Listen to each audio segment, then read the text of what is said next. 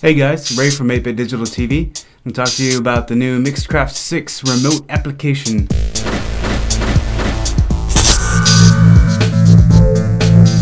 And so I've got Mixcraft open to enable the recording with it. You want to go to File, and then Preferences, and then the Interface, and then Enable Remote. And then hit OK blah blah blah firewall stuff. If you need to do that, you can. So let me open app.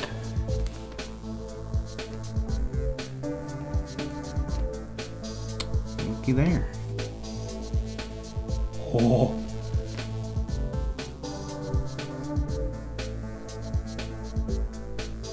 No configuration. That's pretty sweet. Let me uh, arm a track here. Hit record. Dabba dooba dabba doo. Just using this microphone up here. So, let me stop that. So you can't like change the track that it's recording on from the app. The app is pretty much just to show you your beats and time. You can undo, redo, save. So we do undo, gets rid of that track up there. Redo, we've got it back. And you can control the overall volume, you can play it back. Dabba dooba dabba doo. Just using this microphone up here. So. So, yeah, go to the end of it. Beginning. Skip. I guess measures or something. Okay. I can already do that. But if you're like not in a studio or something. You're further away. Yeah, baby, I can do this at the same time. Wah, wah, wah. Yeah, baby, I can do this at the same time. So, look at that. So I've got my phone. I bought it for the androids. Mixcraft. Six. Interesting. iPad one just worked.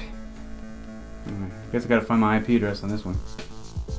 You have to be sure to enable the Wi-Fi on your phone that's connected to the same network as your computer. Alright.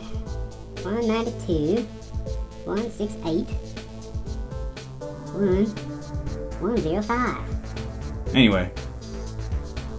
Well, well, well.